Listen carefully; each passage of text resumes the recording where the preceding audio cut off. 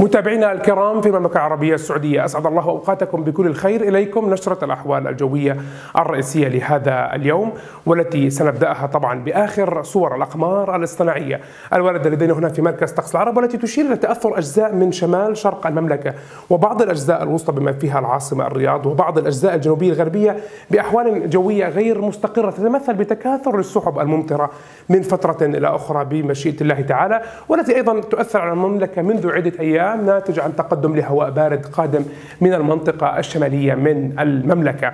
بالنسبة لتوقعات الهطولات المطرية خلال 24 ساعة القادمة فمع ساعات مساء هذا اليوم تبقى فرص الأمطار حاضرة في بعض هذه المناطق كما نلاحظ بالإضافة إلى المرتفعات الجبلية الجنوبية الغربية. مع ساعات ليلة السبت على الأحد تكون فرص الأمطار واردة في حفر الباطن في القصيم. بعض الاجزاء الشرقية للمملكة وبعض المرتفعات الجبلية الجنوبية الغربية من المملكة. كذلك الامر هو مع ساعات صباح يوم الأحد تتركز هذه الأمطار في القطاع الشمالي الشرقي من المملكة. تشمل حفر الباطن أجزاء من القصيم الجبيل والمناطق الشرقية ربما تصل الدمام والأجزاء الشمالية الشرقية من آه، آه، الرياض. تهطل الأمطار الرعدية أحيانا بمشيئة الله فوق المرتفعات الجبلية الجنوبية الغربية مرتفعات باحة والأبها ومرتفعات عسير في جنوب المملكة بمشيئة الله تعالى. وهذه نظرة عامة على الأحوال الجوية في المملكة خلال 24 ساعة القادمة. أما هذه الليلة في العاصمة الرياض فالأجواء تكون غالبا غائمة. 10 درجات مئوية والأجواء مائلة للبرودة إجمالا في معظم هذه المناطق.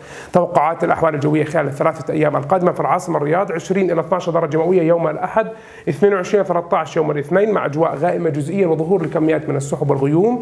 في حين يتوقع هطول أمطار رعدية يوم الثلاثاء في العاصمة الرياض ما بين 22 درجة مئوية في ساعات النهار و13 درجة مئوية في ساعات الليل.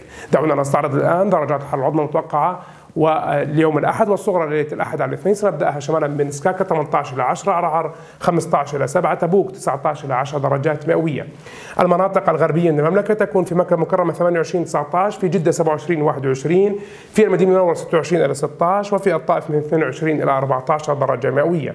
أما المناطق الجنوبية الغربية في جازان 29 إلى 25 مع فرص لبعض الزخات الرعدية المحلية من الأمطار، أمطار رعدية متوقعة في مرتفعات أبها 19 إلى 11 وفي مرتفعات الباح أيضا أمطار رعديه محتملة من 14 إلى 12 درجة مئوية.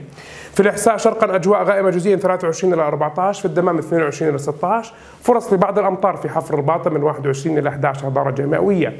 أما في المناطق الوسطى في الرياض 20 إلى 12 فرص لبعض الأمطار في بريدة من 20 إلى 11 وفي حائل من 17 إلى 8 درجات مئوية.